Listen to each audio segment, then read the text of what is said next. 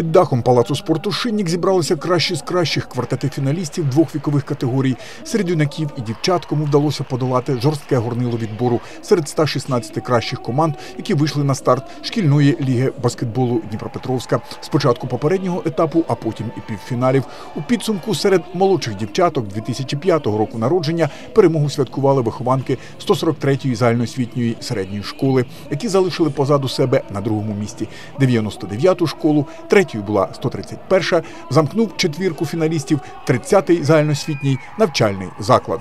Серед їхніх ровесників хлопців не мали собі рівних юнаки з 28-ї середньої школи, яким нічого не зміг зарадити срібний призер 131-й загальноосвітній навчальний заклад і бронзовий 148-й. Четвертою фінішувала 142-га школа. Серед старших дівчат, які народилися 2001 року, знову домінували вихованки з середньої школи за номером 143, які випередили ровесниць з 29-ї, 83-ї і 25-ї шкіл, які розташувалися відповідно на другому, третьому і четвертому щаблях п'єдесталу пошани. Насамкінець серед їхніх однолітків юнаків впевнену перемогу святкував 66-й виховний комплекс, який без особливих зусиль зламав опір суперників 2-го, 29-го загальноосвітнього навчального закладу, 3-го, 33-го і 4-го, 143-го. Баскетболіст чемпіона Павло Єременко отримав приз МВП турніру, а їхнього наставника Віталія Нікітенка визнано кращим тренером ліги. Завершилися змагання, а вірніше фестиваль помаранчевого м'яча радісним фотографуванням на загальну світлину. Бо, як і очікувалося, тих, хто програли за підсумками шкільної ліги баскетболу Дніпропетровська, не було. Турнир получился великолепным, увлекательным и вообще получился праздник спорта. Э, Мы пытаемся развивать все виды спорта.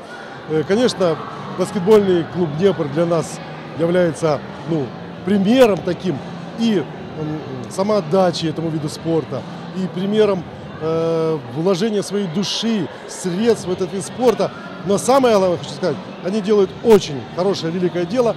Они воспитывают вот эту молодежь, которая сейчас здесь с таким азартом борется. Сколько эмоций, Э, как мы говорили, здесь не будет э, проигравших и победителей. Понятно, кто-то выиграл, кто-то проиграл, но в целом здесь был такой спортивный, спортивный дух и азарт. Э, Интересно было за детьми наблюдать, ведь многие из них не профессионалы, а только на э, этом турнире первый раз попробовали играть в баскетбол. Ну, я считаю, это очень хороший опыт.